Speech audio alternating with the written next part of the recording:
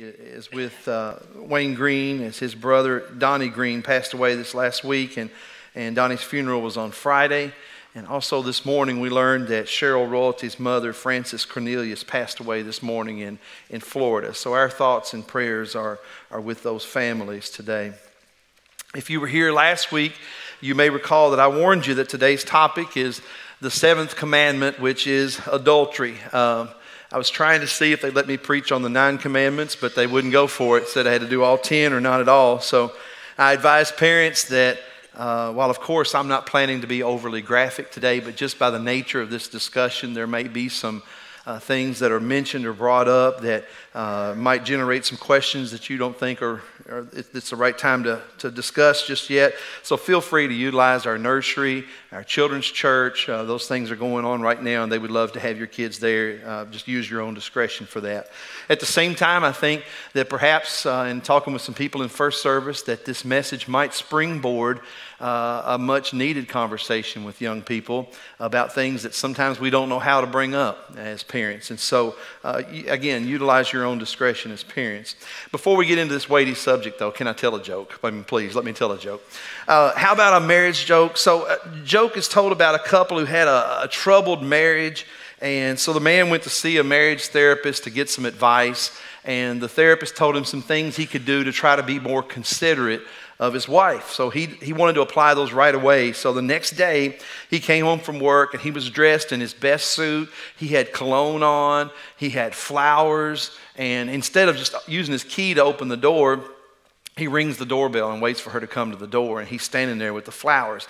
He hands her the flowers, he leans in, gives her a kiss, and he says, Honey, you look beautiful today. He said, just sit down and relax. He said, I'm going to fix supper tonight. You just go sit on the couch. He said, after supper, I'm going to run you a nice hot bath, and you have the rest of the night to just relax, read that book you've been wanting to read.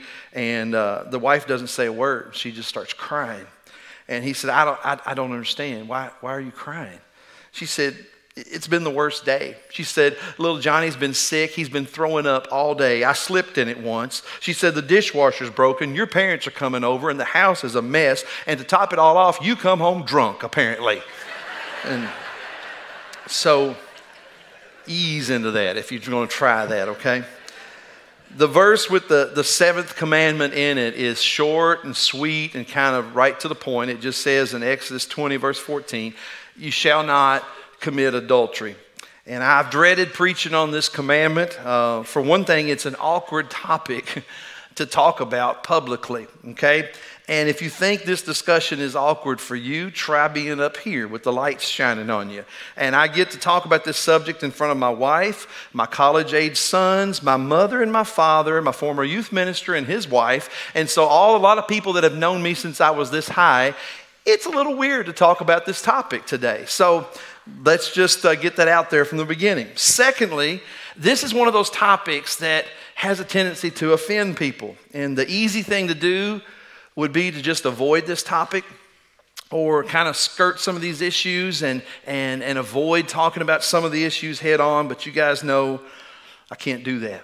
Uh, can't be cowardly. And my job as a preacher of the gospel is to preach the whole word of God the parts that are, are soothing to the ear, the parts that make us feel warm and fuzzy, but also the parts that confront us and the parts that, that hit us in the face and say, This is sin. You need to, to wake up and get with the program. So we're going to do some of that today. And this, this whole series, you know, I continue to tell you, it's tough. You spend 10 weeks on the law, you're going to get beat up a little bit. And so it's never my intent to wound anyone with the Word of God. And I hope that you know that. It's never personal. And my goal is to share the truth in love. And the hope is that when we know better, we'll do better. And my hope is that these truths will be received with a repentant heart. That's the only way to read the Word of God, is just with a repentant heart. And when we find something that doesn't match the way we're living, it's the way we're living that's got to change. And the repentant heart says, Yes, Lord, I'll, I'll, obey that to the best of my ability. I think there are, are two basic errors that we can make as a church when it comes to the whole topic of sexuality. Uh, we can, number one, err on the side of being too permissive. And then on the other end of the spectrum, we can err on the side of being too prudish about this topic.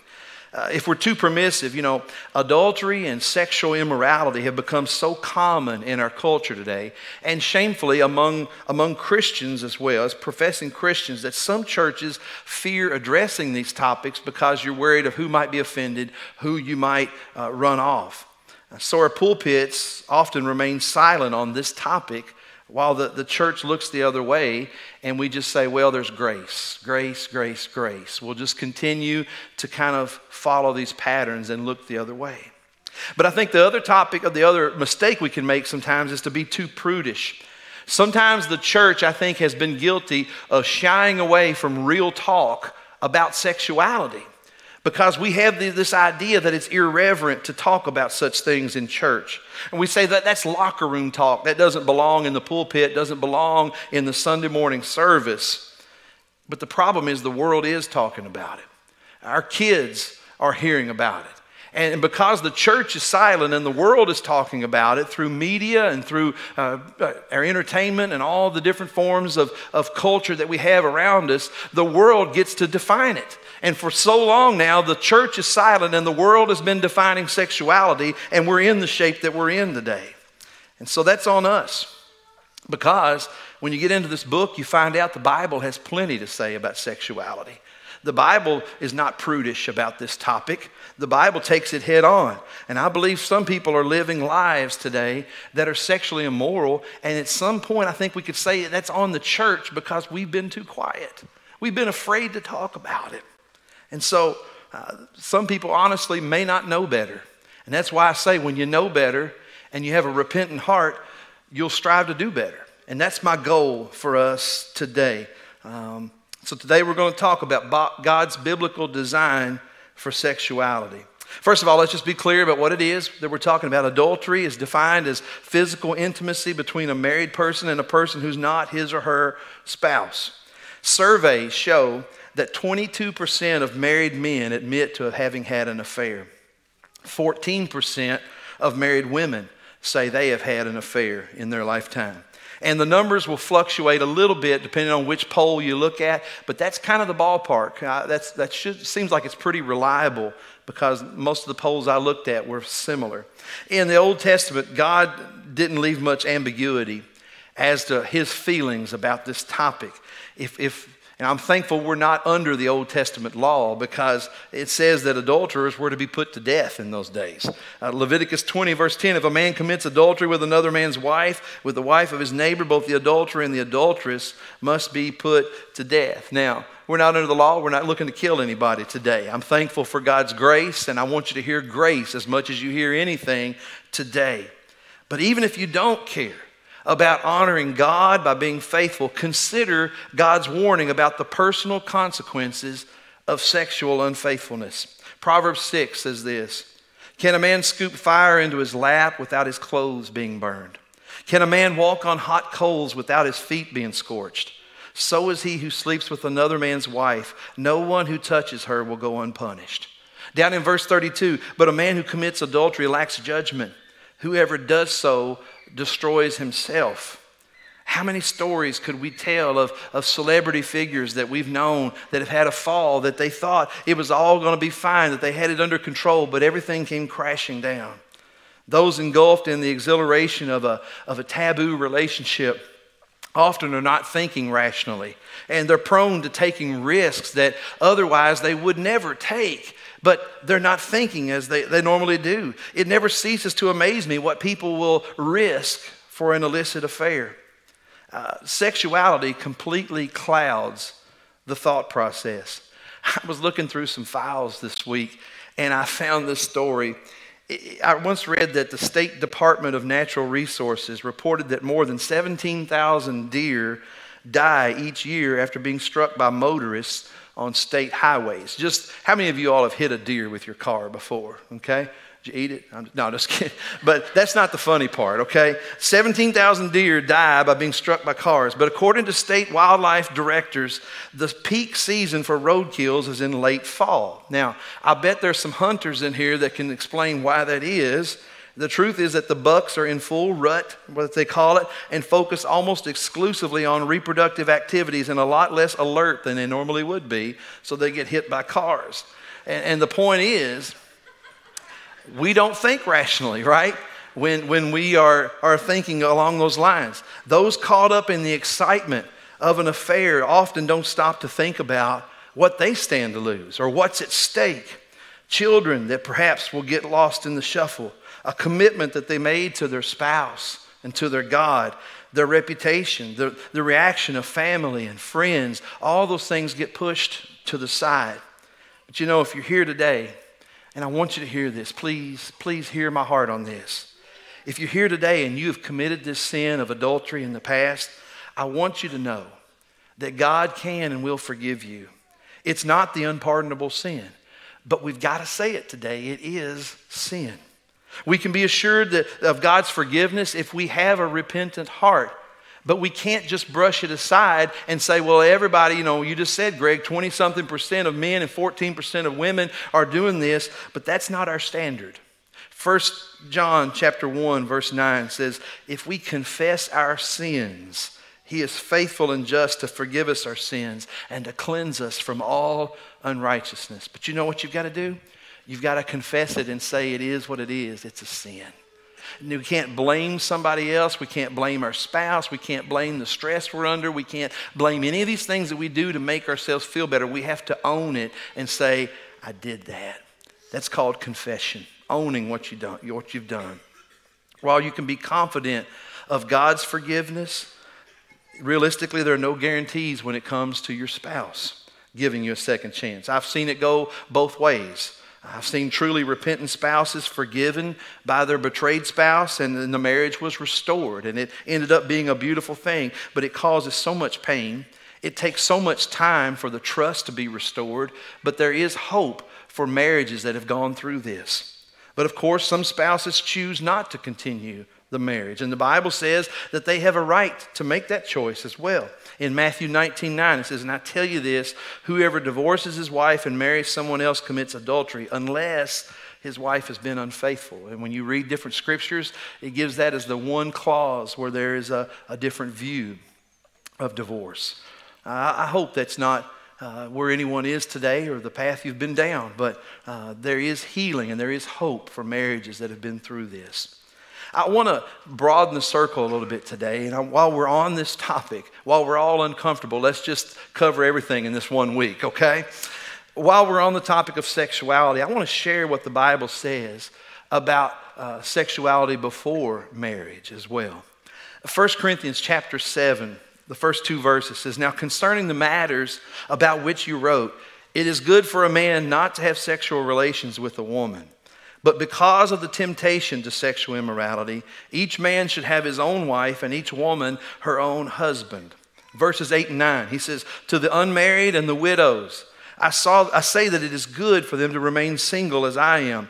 But if they cannot exercise self control, they should marry. For it's better to marry than to burn with passion.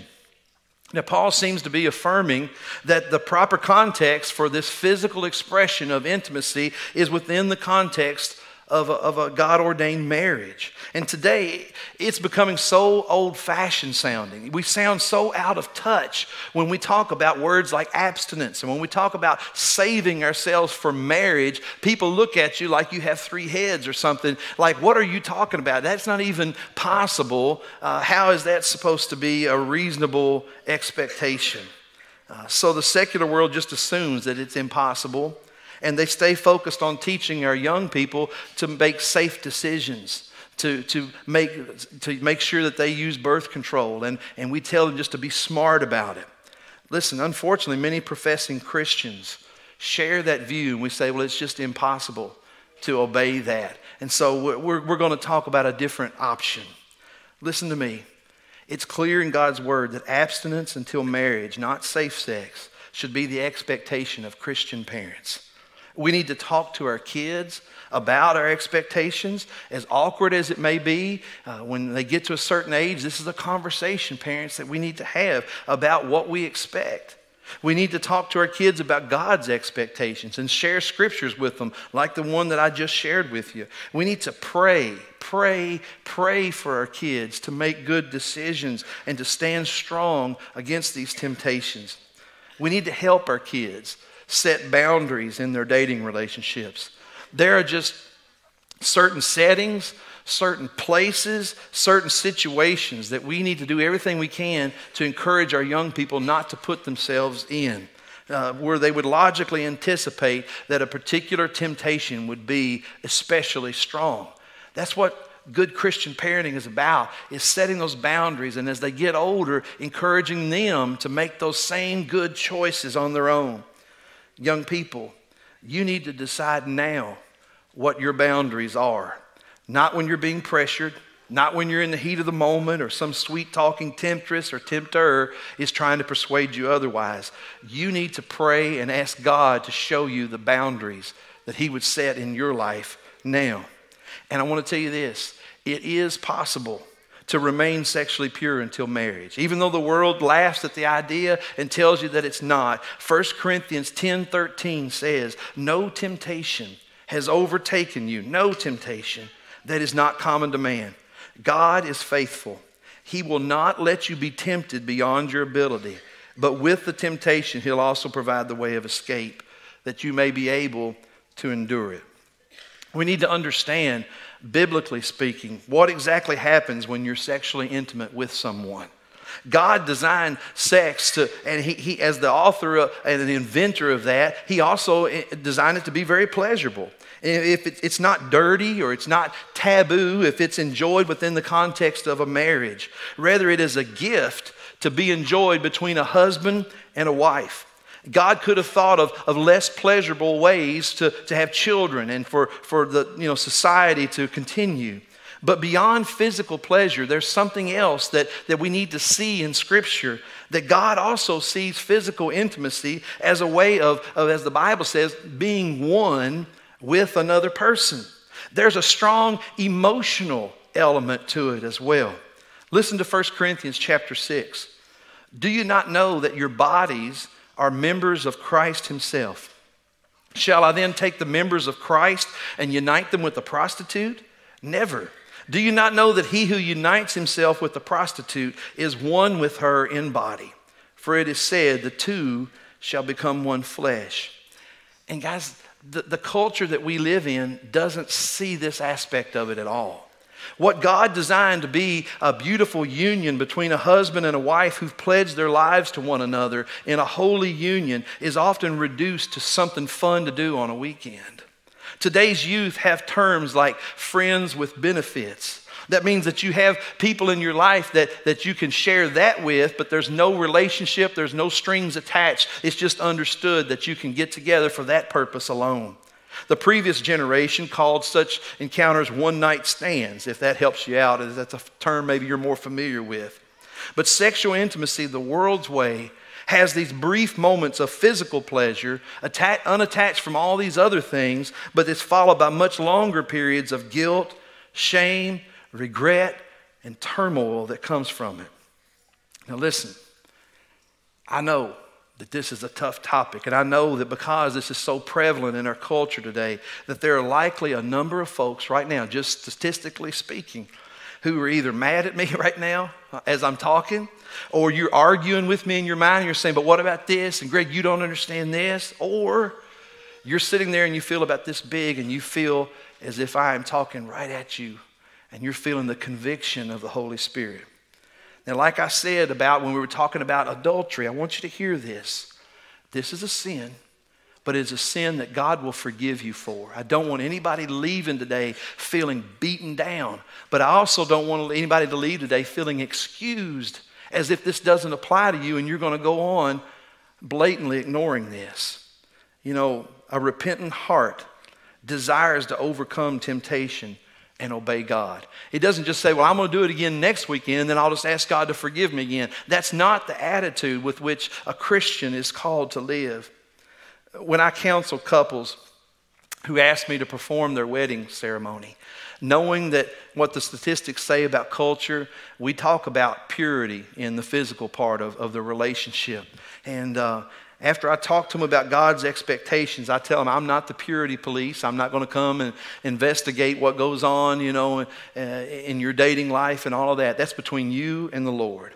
But I tell them this when you come to me and when you want to have a church wedding, that says to me you're wanting God's blessing upon your, your marriage relationship. There are places you can go and get married by someone just to make it a legal union and have it all right with the state of Kentucky. But when you come to me, I assume we're asking for God's blessing to be upon it as well. And it just seems like an odd thing to say to God to say, God, we're going to ignore your will for our relationship when it comes to sexual purity, but we still want you to bless our relationship. Something about that doesn't seem right. And perhaps there are some couples who, who need to have a conversation first with God as individuals, but then you need to come together as a couple and set some boundaries for the physical aspect of your relationship. And if you haven't kept your relationship pure to this point, listen, God can forgive for what is done. What is done is in the past. And God can cleanse you of that and forgive you of that. But now is the time to make some decisions. What am I going to do going forward? And, and, and express to God that you want to repent, that you want to seek God's forgiveness. And listen, I also believe that your relationship is not forever tarnished because of that. But God loves repentant hearts. And when we say, God, I want to I want to change things. I want to go differently from this point forward. I believe God can redeem relationships. I believe God can honor that and rebuild from this point forward. Listen, it's my desire to see God's blessing on every marriage, to see God's blessing on every dating relationship, every relationship, every home represented in this church. I want to see God bless it.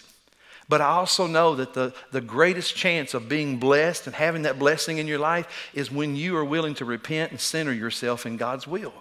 And so that's why we're talking about these things. Not so I can just come in here and heap guilt and condemnation on you and make you feel bad. I want God to bless you. I really want that for you. But we've got to be willing to align ourselves with His will. And listen, many people will tell you God's path is the best path. God is not against fun, God's not even against pleasure. God just says, This is a gift, and I know how it works best, and there's wisdom behind it. And if you'll follow my path, you'll find it's a road to blessing. Secondly, or last of all, Jesus told us that adultery, this sin we're talking about today, it begins with lust. And just like he did with murder, if you were here last week, we talked about how he walked it back a little bit and said, no, wait, it doesn't actually, you didn't murder the moment that you killed them, but it actually began in your heart. We backed it up and we saw how anger is the beginning of it. And if you don't deal with that anger properly, it turns into bitterness. And then if you don't deal with that bitterness, then it can evolve into hatred. And when you get to the point you hate somebody, you can do all kinds of things you never thought you would do. Well, Jesus took adultery and he said something similar in Matthew chapter 5. He said it's a road of progression that begins in the heart. Watch what he says, verse 27. You have heard that it was said, You shall not commit adultery. But I say to you that everyone who looks at a woman with lustful intent has already committed adultery with her in his heart. Now, listen, I, it's not uncommon to notice attractive people. I don't think that, that Jesus is saying if you've ever looked at someone and thought, man, they, they are pretty or they, he's handsome or whatever, that, that you have sinned. To notice that they have a pretty face or a, a, a good physique or whatever. But we get in trouble when we take mental snapshots and we fantasize and, and you take it to another level. And Satan can take those lustful thoughts and he will run with that and he will take you down a whole road of sexual immorality and it's a steep road. It, it progresses quickly. And listen, one of the main weapons in Satan's arsenal today is pornography. The addictive nature of pornography is well documented. The church doesn't talk about it, and Satan is having a heyday with it. Just as a drug user eventually requires uh, stronger and stronger drugs to get the same effect, so it is with pornography. I once heard about an interview with Ted Bundy, who was a serial rapist and murderer. And he sat down as he was already on death row awaiting his execution. And he wouldn't grant anyone an interview except James Dobson from Focus on the Family and with nothing to lose, no reason, I mean, if you can trust a serial killer, but he, he, he said, with nothing to lose, he said, I just want other people to know the path that led me here. He said it started with pornography. And then I had to have something a little bit stronger, a little bit more shocking to get the same effect. And eventually, it got to where I had to start acting on some of those. and it just progressed and progressed until I became a monster. I became someone I never thought I would be. Now, I'm not saying that everybody that looks at pornography is going to be a serial killer. But listen, with the internet and streaming movies, pornography is now more accessible than ever before. And it's very, very addictive. I read this week, this, this blew me away. I read this week that 68% of Christian men view pornography on a regular basis. Almost seven out of 10. And I tell you that to tell you that if you are struggling with this as a Christian, you're not alone. This is the sin that no one wants to talk about. But that doesn't excuse it. I'm not saying it's okay, everybody's doing it. I'm saying this is a big problem that the church needs to talk about. It's often not just a matter of saying, all right, well, I'm going to stop because it has an addictive nature to it. And I'm convinced that there are a lot of people who love Jesus but are struggling with pornography. And I, I, don't think that that doesn't mean necessarily that you're not a Christian unless you just say, I'm going to continue struggling with it.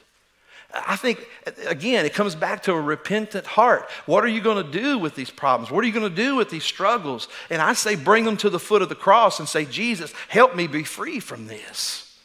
And so today, I just want to encourage you to make a decision today. I'm not okay with this.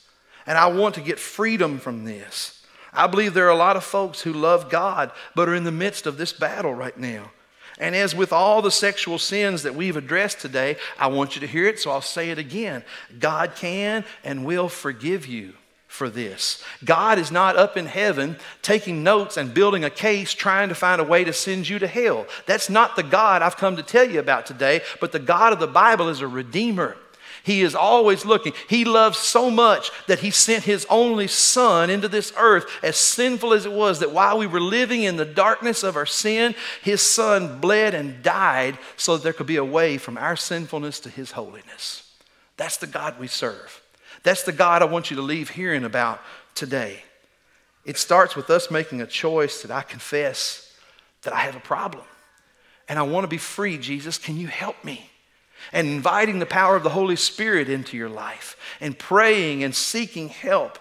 And it's often a process, and, and you're going to need some help. That's why I am looking now currently into resources to provide to our church family to help overcome this condition. I couldn't get that out of my mind this week. 68% of Christians are struggling with this. I want to see people set free. And I thought this week, you know, there are things in our life that hold us back. The Bible calls them spiritual strongholds that we, we want to be free from. There are things that when I became a Christian, I could just say, well, I'm not going to do that anymore. And I didn't do it anymore. But then there are things that you want to be free from, but you're still dragging around with you. These spiritual strongholds. And I wonder how much closer could we be to God in our relationship with Him if we could get rid of some of these strongholds that are hanging around us and throw off the sin that hinders and, and entangles us and live this life of freedom. Listen, the Carpenters Christian Church, hear this, is not here just to say this is a problem, here's some, here's some condemnation for, for being involved in this. I want you to hear my heart today. I'm saying this is a problem. How can we get free from this? How can we help people find freedom? This is not a place of shame. This is a place where we acknowledge sin and we fight it with everything that's within us. This is a hospital for sinners to come and find freedom, to find a path to a better way of living in the power of the Holy Spirit of God. And so today, as I wrap up, I just want to I want to pray along these lines that we've talked about today for everybody that's, that let's, let's, let's be in this fight. Let's be about this fight.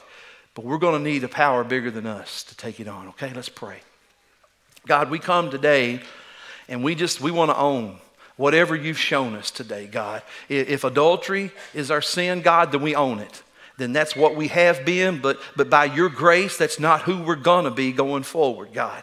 I pray that, that the needed conviction perhaps has come and that those who may be involved in this or have been will just be resolute today in saying, not anymore. Not anymore. I want that out of my life, and I want to be uh, uh, wholeheartedly devoted to my spouse, wholeheartedly devoted to my God, as holy and pure as He is. Lord, maybe there are some that in their relationships they're not remaining pure. And, and God, we can't go back and change the past. But Father, all we can do is own what we've done to this point. But God, we know that that temptation is so strong, especially it's being fueled by our culture. And, but God, we believe you when you say that no temptation uh, has come that is uncommon to man and that we always have the ability, if we'll look for it, to overcome a temptation. So God, help us to remain pure in our premarital relationships, Father. I pray for this generation coming up that's being told that it's impossible to stay pure, so why even try? Just, just go the way of the world. But God, I pray that we'll be a people set apart and, pu- and pure and, and let the world mock. Let them ridicule, God. But we believe that your promises are there for a reason, that they bring life, and that we'll see the benefits in our lifetime and certainly for eternity. God, I pray for those that are struggling with with the lust of the flesh and the heart and the eyes. God, I pray that you'll help us to, to guard against those private sins that are just so easy to tolerate. And, God's statistics say that a lot of us are struggling with those. Whether it's pornography or whether it's just things on TV we just don't need to be watching. We know it, but we just figure everybody's watching it. God, we know that what we set before our eyes finds its way into our heart. We want to be a people that are pure set apart and really genuinely devoted to you. So help us find freedom, God. Help us find freedom. We need your Holy Spirit. We need to feed the Spirit so that we can starve the flesh. God, help us to, to be honest. Just as we've talked about other topics, Lord, that whether it's depression or anxiety or some of these other things that we feel ashamed of, God, help us just to find freedom. I pray that this will be a church where we can drop the mask and just say, These are my scars. Can you help me? Jesus, can you help me? And we can be real so that we'll find that freedom. Just let your spirit minister to people now, God, and give them a comfort. I pray that no one leaves today feeling beaten down, but they feel loved. That we acknowledge sin for what it is, but we're done with it.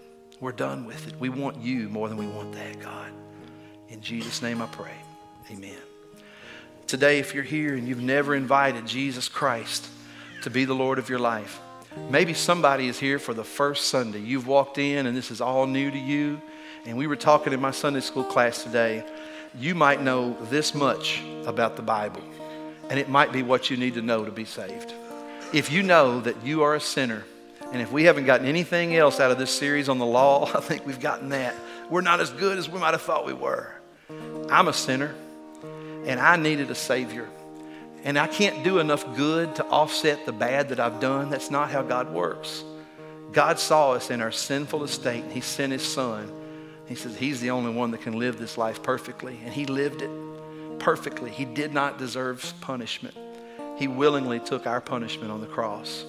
And if you'll put your faith and you'll come and you'll profess that I believe in Jesus Christ, that He's the Son of God, and what He did on the cross is the payment for my sins I, am willing to repent of my sins and I just want the rest of my days to follow after Him. That's called repentance. And He asks that we identify with Him by being baptized and having our past washed away, clean and pure. And He wants to raise up a brand new creation that's called baptism.